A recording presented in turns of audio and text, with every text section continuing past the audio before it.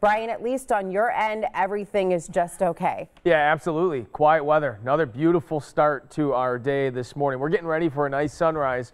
Right now in Milwaukee, 529 the sunrise for today. UV index, just like yesterday, will be at an 8. Make sure you put on your sunscreen if you're going to be outside. We do have a couple clouds overhead this morning. It's 55 degrees in Waukesha. Really comfortable outside. If you go for a walk, you might want a sweatshirt. 63 degrees in Milwaukee with the northwest wind at 5 miles per hour across the area. You got 59 in Beaver Dam, 57 in Lake Geneva, 53 in Kenosha. Dew points also in the 50s, really comfortable. Here's your dew point cast. Now, as we head on through the day today, I think we stay in the 50s, in that comfortable range.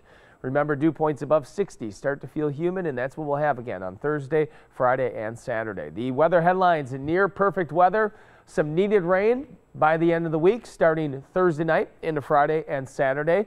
Should remain fairly scattered, though. Again, the best chance is probably during the day on Friday, but Again, most of this uh, will be scattered stuff. Across the state, well, we are dry this morning. Nice and quiet morning out there. Future forecast as we go through our day. Let's follow the time here. This is 9 o'clock. We have a very light east wind off of Lake Michigan.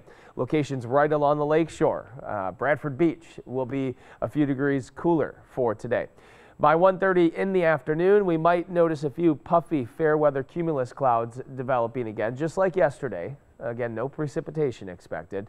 By midnight tonight, mainly clear skies. Again, notice the winds are more out of the south on Thursday. That will start to drive in some warmer air And Here comes more clouds by 9 o'clock Thursday evening. Shortly after that, we could have some showers and storms. Your forecast for today, 76 for your high, mostly sunny and pleasant. Winds out of the east at 5 to 10 miles per hour. For tonight, low temperature of 63 degrees, inland 58, mainly clear skies. And here's your seven-day forecast. All right, we head into the weekend.